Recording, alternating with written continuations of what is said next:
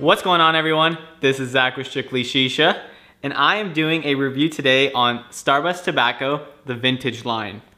And the word vintage, it has good connotation. It's typically synonymous with things or products that have a lot of character to it and to be desired because they are a bit older. Well, this tobacco definitely has a lot of character to it. And it's that dark leaf tobacco, so I can see that vintage aspect of it. And speaking of vintage, uh, shout out to Matt P who inspired me to do this. While I've been testing and trying out the Starbuzz vintage line of tobacco, I've been doing a countdown to episode 7 for Star Wars. So if you guys are big Star Wars fans, I've been really enjoying smoking this tobacco while watching the old vintage Star Wars movies.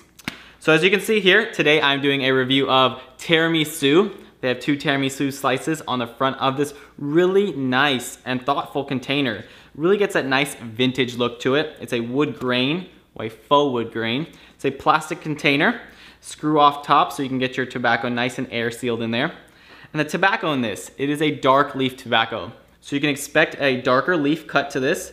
It is pretty choppy, but a little bit on the larger side, not very finely chopped. There is a fair amount of stems in here, uh, not too many where it gets obtrusive and makes it hard to pack. And the tobacco is a little bit on the drier side, but definitely enough juice in there where the tobacco glistens when you look at it. And it's juicy enough where all the leaves are coated. And this tobacco has a very interesting texture to it. If you guys saw my video of the Starbuzz Indian Apple, it was a bit crunchy to the feel and it was on the weirder side. It's nothing I've ever felt before.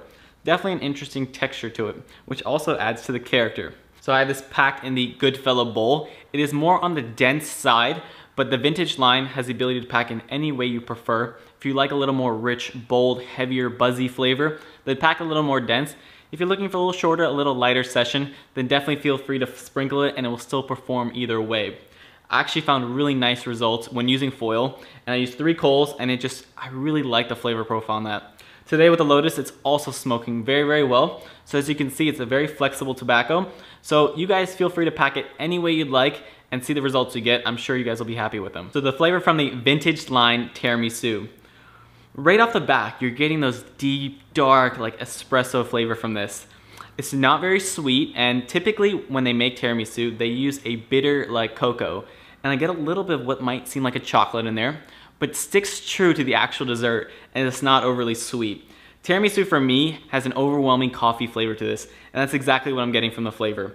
I am also not getting too much cream from this, but there's just a little bit. And on tiramisu, they typically make it with mascarpone cheese. So obviously there's no cheese flavor in this, but there's just a little bit in there to represent that tiramisu dessert. And like I said, the smoke's a little heavy, and that is synonymous with the actual flavor itself. This is a heavy smoke, and I think that comes from the actual dark leaf itself. The dark leaf uh, presence in this flavor is actually something you can respect. Unlike in uh, the Indian apple, I didn't actually taste any of the dark leaf because the flavor was so strong, it overpowered it.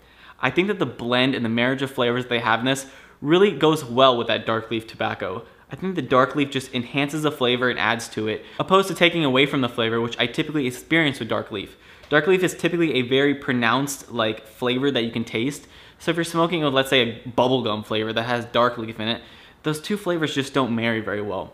But because this is that deep, rich, like espresso flavor, I think the dark leaf in this really adds to it. And this is a great representation of a flavor in the dark leaf like vintage line. So if I was to say like, I haven't tried a lot of the vintage flavors, but a flavor that I could really see complementing that dark leaf tobacco, it's this flavor. The flavor profile is fantastic. And like I said, the flavor strength is really wonderful.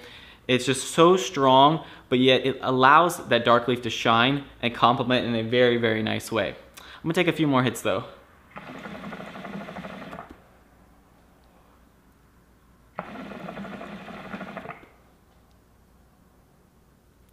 Yeah, definitely a good balance of dark leaf and the actual tiramisu flavor. Like I said, the clouds on this are really huge. They're nice, heavy, robust clouds. And when it comes to the actual buzz of this, I'm not getting what feels like a traditional buzz. Like when I smoke ugly tobacco, and I keep using this as an example because ugly tobacco really packs a punch. This dark leaf buzz for me is not a true buzz that I'm like used to. It's a very mellow, relaxing, soothing buzz that's very different and I'm not expecting that. So the overall uh, take on this particular flavor, the flavor profile was really, really nice. I like that it wasn't overly sweet and it just really complements that dark leaf tobacco. And the buzz is just very relaxing. It's a nice heavy, like wholehearted like smoke, but it's not overwhelming where it gets your stomach feeling all funny and you're rushing to get water or lie down. So Starbuzz, I definitely see why you say this is a bold and smooth flavor. And the vintage line, even though you guys took two years to put it out and hyped it for what felt like 10 years, this is something I would definitely check out. So pick it up from your favorite vendor. Like I said, uh, John's gonna carry it, Alex is gonna carry it, Shop Starbuzz obviously carries it. I'm gonna continue to do some more reviews on these Starbuzz flavors, so look for the Spicy Peach next. Thank you guys very much for watching and may the clouds be with you. Bye guys.